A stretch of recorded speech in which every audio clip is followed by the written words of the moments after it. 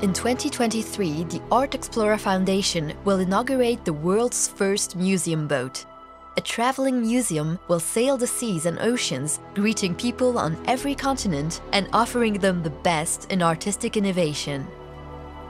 The Art Explorer catamaran will dock at port after port as people have intermingled on their journeys since the beginning of time.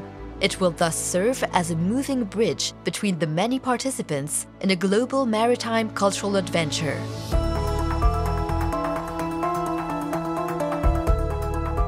Art Explorer, the biggest sailing catamaran ever built at 46 meters long, will accommodate up to 2,000 visitors a day.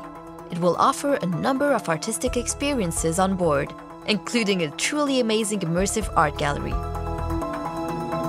The Mediterranean Sea, where people have been meeting and trading for thousands of years, will be its first destination.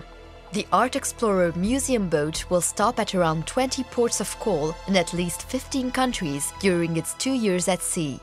Marseille will be its very first stop in autumn 2023.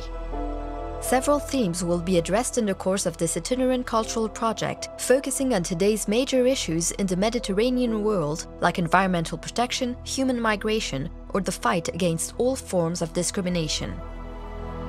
In the immersive art gallery on board, a free exhibition will explore the representation of women and female artists in the Mediterranean region, from antiquity to today.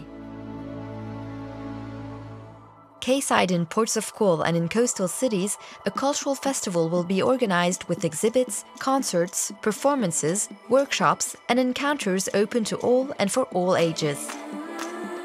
Programming at each stop will highlight the local art scene. It will be designed by international commissioners in each country, in collaboration with regional partners all along the route. A temporary village will be set up in each port and will follow the museum boat as it travels. The village will offer a multitude of fun cultural experiences. There will be space for up to 10,000 visitors a day in a festive, family-friendly ambiance.